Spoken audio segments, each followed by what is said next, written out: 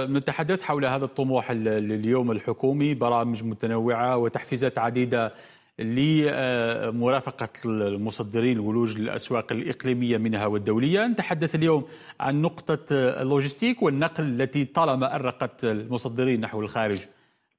ما أهمية اليوم تجديد الأسطول البحري للنقل البضائع والسلع بالنسبة للجزائر للولوج لهذه الأسواق وكذلك تخفيض التكاليف.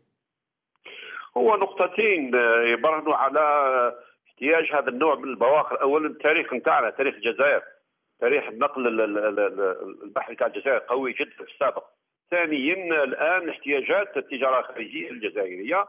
وبعدين لاحظنا أن في 20 سنة الأخيرة لما الجزائر باعت بعض البواخر القديمة منهم بخصوص مصر وبعض اللبنانيين والفلسطينيين إلى آخره آه، واليونانيين أصبحنا بدون بدون إمكانيات أصبحنا ندفع ثمن آه، آه، يعني قوي جدا لاستيراد المواد مثلا لما لما ندفع المصارف لنقل القمح والشعير إلى آخره من من فرنسا ومن جهات أخرى هو قيمه قيمه قيمة باخرة كاملة. يعني هذا فيه فيه خسائر كبيرة جدا عشناها 20 سنة الأخيرة. لأن في إطار التوجيه الجديد والحمد لله فيه نوع من النهضة ونوع من الرؤية رؤية صافية لازم نرجعوا مش فقط لاحتياجات مش فقط لاحتياجات الجزائر يعني التجاره الخارجيه ولكن لماذا لا؟ لماذا لا نشتغلوا في في البحر المتوسط ونشتغلوا مع يعني المواني في في آسيا وفي لاتين أمريكا وفي أمريكا إلى اخره وفي الخصوص ثاني في غرب إفريقيا. لأن لأن عندنا آه، وجودنا وجودنا جيوستراتيجي آه، في في في في البحر الأبيض المتوسط. خلينا بالبناءات اللي عندنا ان نلعب دور كبير جدا إذا كان فيه ديناميكية وإذا كان فيه تنظيم إلى آخره. وممكن قادرة تصبح ال ال ال الوحدات هذه تاع النقل البحري هي جزء كبير جدا من المداخل الإمكانيات الماليه للجزائر في إطار مشاركتنا في النقل الدولي. لما نشوفوا ما وقع في مثلا في مارسيليا وفي طنجة وفي وفي بعض المواني الإيطالية والإسبانيول آه، لماذا لا الجزائر ما تلعبش دورها؟ اذا هذا الوقت أنا نسترجع قوتنا ونشتري يعني البواخر الجديدة. من عدة الدول باش نكون فيه يعني في المقاييس الدولية. ونلعبوا دور كبير مش فقط نغطي التجارة الخارجية نتاعنا ونقص من المصارف اللي عشناها خطيرة جدا لا لا لا يعني يعني يعني غير مفهومة خلاص. وحتى الوزير أو أمس وصفها بالنقطة السوداء في هذا الموضوع. النقطة السوداء إحنا كنا تكلمنا عليها في السابق منذ 20 20 25 سنة تكلمنا عليها. وكتبنا عليها يعني وجهنا نداءات للمسؤولين. ولكن ولكن أنا شخصيا نقولها بقوة ما ما خافش. كانت في خيانة كانت في خيانة في وزارة بخصوص في وزارة النقل باعوا الأسطول وبثمن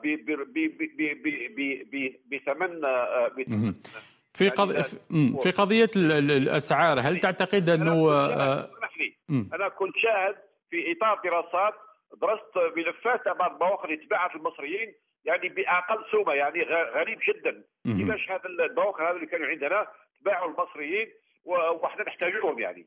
يعني تبيع الباخرة وبعد وبعد تكري باخرة باش تجيب القدح نتاعك لك قيمتها كاملة. إذا حان الوقت الآن في إطار هذا التوجه لا بأس به ممتاز أن نرجع من جديد نبني يعني البواخر نبني الأسطول تاعنا. حاجة أخرى لازم نأكد عليها ضروري ضروري ضروري أن نسمح للمواطنين بعض المواطنين المختصين أن يفتحوا وحدات صناعية للصيانه للصيانه البواخر مش فقط البواخر الجزائرية ولماذا لا البواخر في البحر المتوسط. عندنا عندنا 1260 كيلومتر في البحر خلينا نعطيو عفوا. وجذب الاستثمارات في في هذا المجال. نعطيو اتحاد الجزائريين باش يفتحوا هما وعندنا عفوا عندنا الخبرة لازمه في جزائريين أقوياء موجودين قادرين آه، آه، تعلموا في روسيا تعلموا في فرنسا تعلموا في جهات أخرى.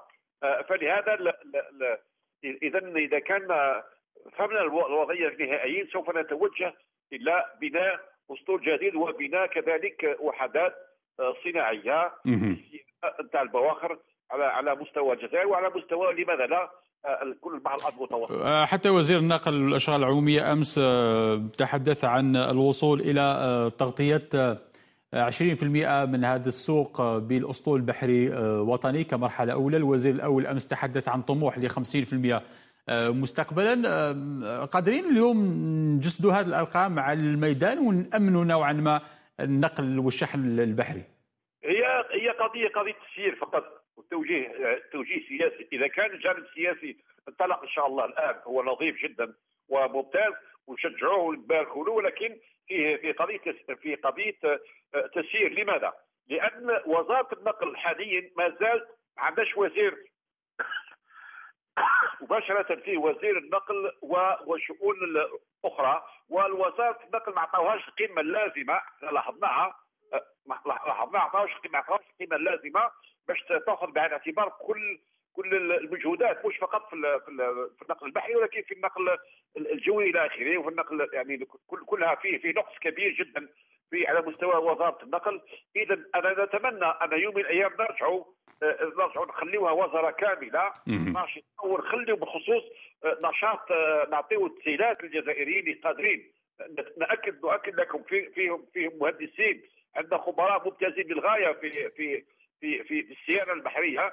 خلينا نفتحوا يعني des ateliers de construction des ateliers de réparation surtout des ateliers de maintenance باش يصبحوا يشاركوا ما نقدروش نتخلاو ونكونوا غايبين على هذا الجانب الاقتصادي القوي جدا ولفائده البلاد وكذلك لفائده حتى حتى الدول المجاورة.